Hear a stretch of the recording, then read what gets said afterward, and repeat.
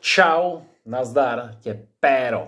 Dneska to bude o písničce, která je nejen poslední na našem albu Huch, ale byla i poslední, kterou já jsem na tohle album složil.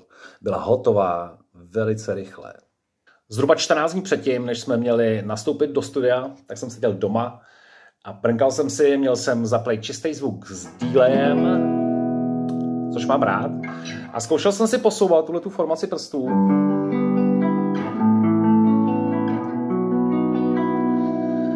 Různě eh, pohmatníků s tím, že vždycky vlastně na eh, horních čtyřech strunách se něco hraje podle toho, kde jsou prsty. A spodní dvě struny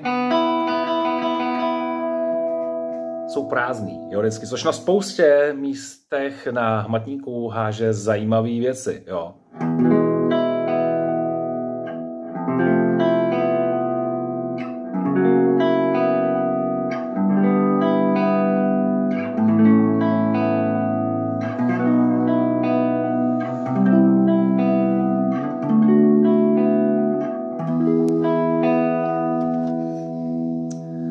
Jo, z těchto mnoha možností, eh, které na tom hmatníku jsou, jsem si vybral jenom nějaký a udělal jsem z nich tohleto kolečko.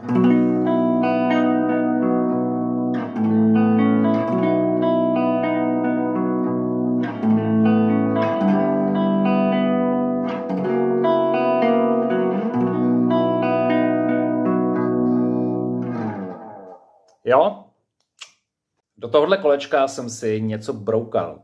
A najednou se mi vybavila, nevím proč, když bylo odpoledne, uh, ta chvíle, kdy se vracíš třeba pozdě z koncertu, vracíš se tak pozdě v noci, že se vlastně vracíš brzo ráno a přijdeš vlastně domů, uh, ptáci už zpívají, slunce je venku a ty jdeš spát, ale stejně si ještě před tím spánkem dáš tu ranní kávu.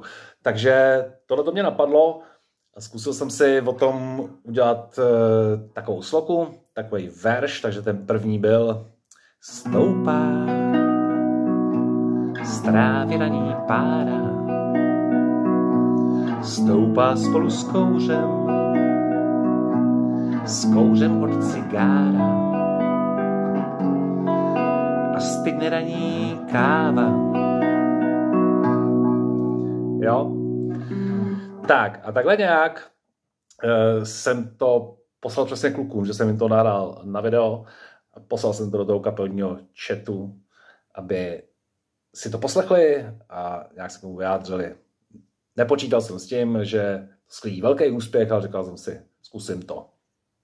Tak, písnička se líbila a studio bylo za rohem, takže jsem na ní hned vlítnul, aby jsme ji pak nemuseli e, dodělávat tam. A musím říct, že fakt ze mě nějak tak automaticky vypadla a vůbec jsem se vlastně u ní e, nezapotil, což e, není normální. Text šel rychle, sloky jsem udělal rychle, refrény mě v podstatě hned napadly nějaký, který mimochodem vycházejí zase z posouvání tady té formace, jo, e, prstů pohmatníků. Tak se mi chce zývat a každý, kdo zná ptáky, to ví, že jsou dravci, co v noci loví, že jsou lidi jako my soví.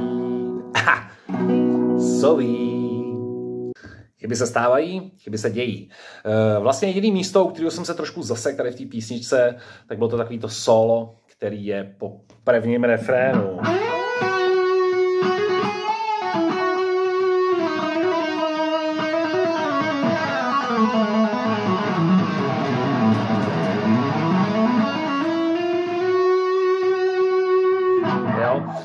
Nebo takhle nějak bylo, my tu písničku nehrajem, takže už přesně nevím. E, vlastně já už sola e, dávno nehraju, jsem mám takovou teorii, že čím méně sol, tím máš pak méně práce e, na koncertě.